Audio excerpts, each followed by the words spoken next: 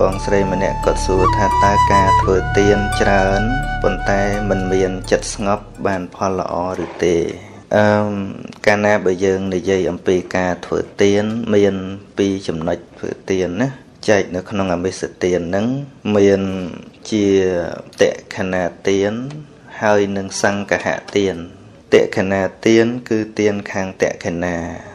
ឬក៏វិសុទ្ធិទៀន វិសុទ្ធិទាននេះគឺសំដៅទៅដល់ការធ្វើទាន ចំពោះបដិគេហកៈដែលមានសេចក្តីបរិសុទ្ធយើងធ្វើព្រោះមានសេចក្តីជ្រះថ្លា ទានមួយទៀតហៅថាសង្កហទាន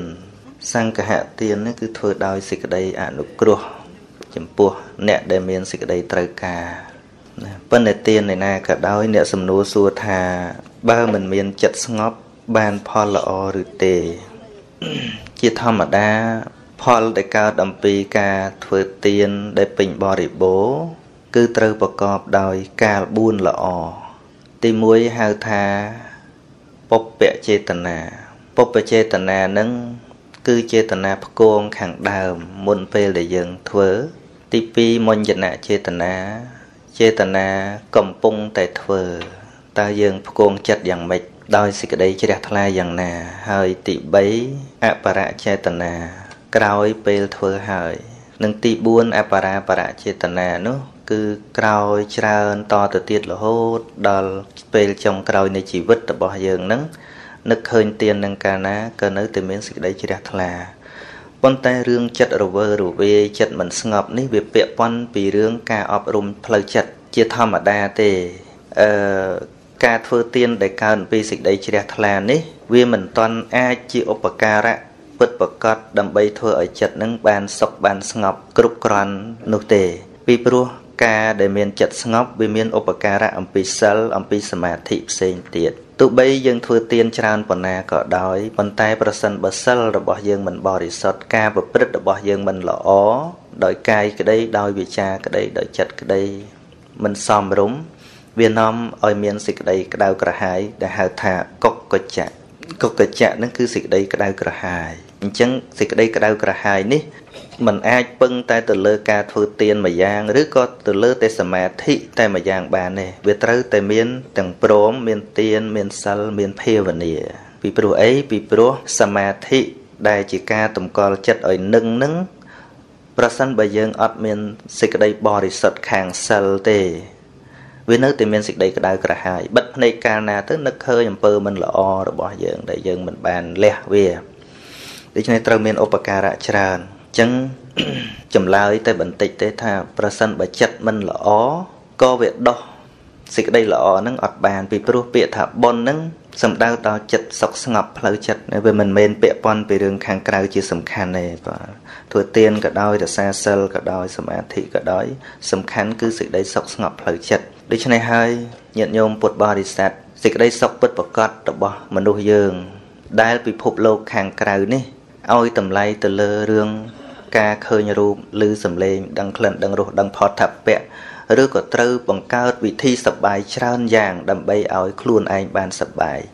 ប៉ុន្តែទីបំផុតពូជអបសុកវាកើតមកពីខាងក្នុងប្រសិនបើមិនបានសម្អាតពីខាងក្នុងទេទោះបីជាយើងខំបង្កើតសេចក្តីសប្បាយយ៉ាងណាក៏ដោយក៏វាមិនអស់រឿងដែលត្រូវអបសុកដែរពីព្រោះរឿងអបសុកវាកើតពីក្នុងកើតពីក្នុងស្អីក៏ដោយវាសម័យចេញតែពីចិត្តរបស់មនុស្សនឹងឯងចឹងបានជាប្រយោគគេវចរនឹងលោកមានវិធីវឹកហាត់ផ្លូវចិត្តចាប់ចិត្តឲ្យបាន ពីព្រោះចិត្តនេះដូចជាស្វាអញ្ចឹងណា នៅក្នុងវិសុទ្ធមគ្គលោកសំដែងថាអឺនៅក្នុងរាងកាយយើងនឹងតាំងពីចុងសក់ដល់បាតជើងនឹងមានគេសាសក់លោមេរោមនឹងដូចជាដើមថ្នោត32ដើមអាការៈ32ណាហ្នឹងហើយដូចជា ដើមថ្នោត32ដើមហើយចិត្តរបស់យើងដូចជាស្វាវាលោតទៅវាលោតមកវាលោតទៅវាលោតមករីឯការដែលយើងតាមប្រមាញ់ចិត្តនេះដូចជាព្រានកាន់ស្នាដើម្បីបាញ់វាតែបើយើងយឺតយ៉ាវពេកដេញមិនតាន់វាទេម្ដងវាចង់បាននេះម្ដងវាចង់បាននោះម្ដងវាទៅនេះម្ដងវាទៅនោះយើងនៅតាមក្រោយវារហូតហើយចិត្តតែក្តៅចិត្តហ្នឹងហ្នឹងស្អប់នៅនេះទៅទៅឯនោះទៅស្អប់នៅនោះទៅទៅឯនោះទៅឃើញទេ ឃើញទីបំផុតទៅរស់សេចក្តីសុខពិតប្រកបអត់ឃើញហើយយើងចេះតែទៅអារម្មណ៍ខាងក្រៅតាមពិតអត់មានទេអារម្មណ៍ខាងក្រៅអត់មាននាំសេចក្តីទុកពិតប្រកបឲ្យចិត្តរបស់យើងតាមពិតមកពីចិត្តវាអត់ព្រមតែប៉ុណ្ណោះនឹងចឹងស្អីក៏ដោយឲ្យតែដាក់ភារៈចុះហើយព្រមទទួលការពិតប៉ុណ្ណាគឺប៉ុណ្ណឹងណាអរិយបុគ្គលក្តីព្រះសម្មាសម្ពុទ្ធក្តីដែលបានសម្រេចគុណធម៌នឹងយើងកុំគិតថា ព្រះអង្គនឹងទៅបានស្អីផ្សេងអំពីអ្វីអ្វីដែលដែលនៅជុំវិញខ្លួននឹងសំខាន់គឺការធ្វើទុកក្នុងចិត្តដោយយោនិសោមនសិការៈតែរឿងមួយបើសិនបើយើង ធ្វើទុកក្នុងចិត្តមិនល្អយើងថាវាជារឿងអាក្រក់តែបើយើងចេះធ្វើទុកក្នុងចិត្តដោយល្អវាคล้ายជារឿងល្អសម្រាប់យើងទៅវិញដូចអាត្មាធ្លាប់លើកឧទាហរណ៍អញ្ចឹងអឺសម័យរដ្ឋកម្ពុជានៅស្រុកខ្មែរយើងជីតាម្នាក់ហ្នឹងគាត់មាន រទេះសេះមួយហើយនឹងសេះញីមួយគាត់ទឹមរត់ឈ្នួលរាល់តែថ្ងៃ ថ្ងៃមួយសេះហ្នឹងវារត់បាត់ចូលទៅព្រៃទៅគាត់ស្ដាយអង្គុយយំសោកស្ដាយសេះហ្នឹងហើយវាអត់មានលុយណាទិញថ្មីទៀតបានប្រហែលជា4 5ថ្ងៃស្រាប់តែវាចេញពីព្រៃមកវាដោយឈ្មោលមួយមកតាម បានសេះសមួយយ៉ាងស្អាតឈ្មោលហ្នឹងអញ្ចឹងគាត់អសប្បាយចិត្តគាត់ថាអូកុំតែបានអា ដេញសេះអញនឹងចូលទៅព្រៃកុំអីមិនបានអាសេះថ្មីនឹងមកទេឃើញណាអញ្ចឹងឡើងបន្ទោសរឿងបាត់សេះលើកមុនណាអវិញថាវាចេះវាចូលទៅតាក់ឈ្មោលមកបានដល់តែបានអាសេះល្អហ្នឹងកូនប្រុសគាត់ឃើញកូនសេះហ្នឹងល្អក៏រៀនជិះជិះជិះទៅធ្លាក់ទៅបាក់ជើងដល់តែធ្លាក់បាក់ជើងគាត់ខឹងអាសេះហ្នឹងទៀតគុំតែអាសេះសចង្រៃហ្នឹងមកគុំអីកូនអញអត់បាក់ជើងឯងឃើញទេឃើញឃើញវាទៅទៅទៀតដោយសារអាសេះហ្នឹងទៀតចិត្តគាត់ហ្នឹងណា ដល់ពេលហើយគេប្រកាសចាប់ទៅធ្វើតាហ៊ានដល់ចាប់ទៅធ្វើតាហ៊ានគេលើកលែងមនុស្សក្មេងពេកមនុស្សពិការគេអត់យកទៅធ្វើតាហ៊ានបានគាត់ថាអូគុំតែបានកូនអញបាក់ជើងគុំអីទៅធ្វើតាហ៊ានងាប់បាត់ហ่ะឃើញហើយឃើញសួរថាតើរឿងណាអាក្រក់ពិតតើរឿងណាដែលដែលដែលថាអាក្រក់ពិតល្អពិតនៅនៅលើចិត្តទេ នឹងដូចអញ្ចឹងបានមកនឹកឃើញថាដូចញាតញោមនៅកាន់ទីនេះឥឡូវយើងចាស់ជរាយើងឈឺរាងកាយក៏ពិតមែនប៉ុន្តែបើដាក់ទៅក្នុងចិត្តល្អបន្តិចហើយមានពេលវេលាខ្លះស្ដាប់ធัวឥឡូវហ្នឹងមានតាមពឹមភីស្រីតាមស្អីស្អីអញ្ចឹងមានពេលវេលាសម្រាប់ជីវិតច្រើនមែនតើហ្នឹងដាក់ពេលត្រូវគឺជីវិតហ្នឹងអត់អបសុកទេឈប់អបសុកអាមានធัวមានអាស្ដាប់ចឹងទៅឈប់អបសុកអា ហ្នឹងប៉ុន្តែបើចិត្តតែប្រៀបមួយគេអូគេនៅដើរបានគេដើរត្រង់អញនឹងពិបាកអាហ្នឹងតាធ្វើទុកក្នុងចិត្តខុសគឺការទុកហើយយល់ទេវានៅលើផ្លូវចិត្តទេផ្លូវចិត្តហ្នឹងចិត្តអត់មានជើងទេតាមពិតទៅហ្នឹងហើយវាមកអាស្រ័យនឹងរាងកាយហ្នឹងហើយតើកាលណាគិតខុសការទុកតែម្ដងហ្នឹងហើយហើយមនុស្សសុទ្ធតែមានបញ្ហាគ្រប់មនុស្សទាំងអស់មិនមែនអ្នកដើរប្រយប្រយនឹងអត់ឈឺទេវាឈឺចិត្តដែរ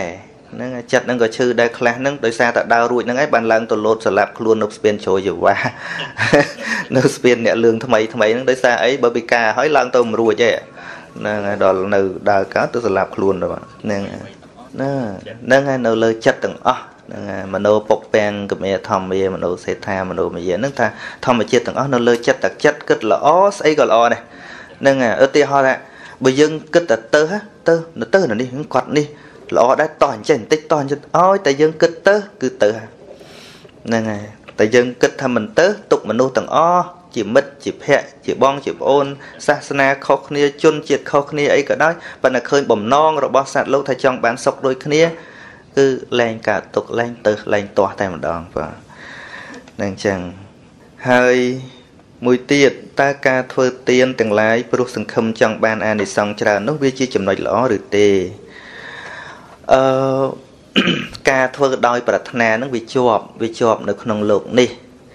អឺវាអត់អត់ល្អដូចជាការដែលយើងលះដោយ ប្រពៃឯងអាត្មាឧទាហរណ៍នៅពេលដែលយើងសាបព្រោះសាបព្រោះទៅលើដីយើងសាបពូជសំណាបបើសិនបើយើងចេះបច្ចេកទេសហើយយើងសាបធ្វើម៉េចឲ្យវាស្និទ្ធល្អពូព្រោះយើងត្រៀមរួចស្រេចហើយថា ស្រែមួយហិតតាឬក៏ស្រែមួយអំពកហ្នឹងយើងត្រូវត្រៀមពូជប្រមាណយើងត្រៀមជាស្រេចអញ្ចឹងខណៈពេលដែលយើងព្រោះទៅហ្នឹងយើងអត់ស្ដាយទេគឺធ្វើម៉េចឲ្យទៅវាល្អព្រោះវាត្រាំរួចហើយត្រាំរួចហើយយកទៅកិនជាអង្គវិញក៏អត់កើតដែរវាដោះរួចហើយបើយើងស្ដាយវាហ្នឹងក៏វាខូចរួចហើយដែរយកទៅទុកក៏ខូចដែរដូចទៀនដែលយើងធ្វើទៅបើយើងនៅជាប់ថាចង់បានចេះបានចុះទៅវាធ្វើឲ្យចិត្តហ្នឹងវាខ្វល់ ហ្នឹងហើយបើសិនជាលះឲ្យស្រឡះដូចយើងសាបព្រោះធ្វើម៉េចឲ្យទៅវាវាស្និទ្ធល្អវាចិត្តល្អប្រមាណប៉ុណ្ណឹងទៅ ស្រស់ហ្នឹងប្រកាសជាដោះបានល្អ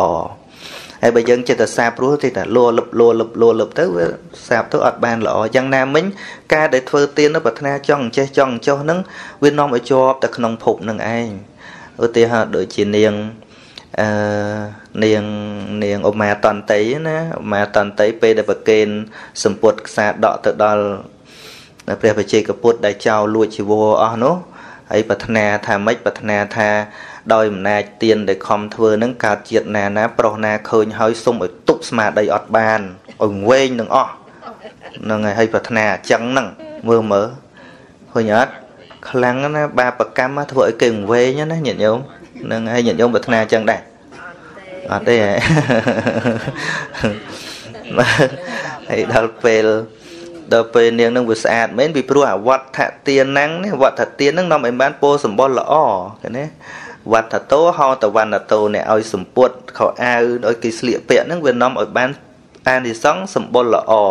ពីព្រោះមនុស្សយើងស្អាតហ្នឹងដោយសារតែស្លៀកពាក់ទេដោះតែស្លៀកបំពាក់ចេញចាញ់ប្រែតប្រមាណទេទាំងអស់តែគ្នាហ្នឹងឯង